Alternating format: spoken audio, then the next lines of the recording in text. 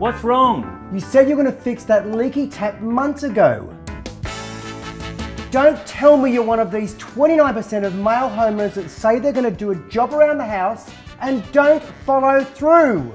Just took me a lot less time to get a plumber on hipages than it took for him to complain to me about it.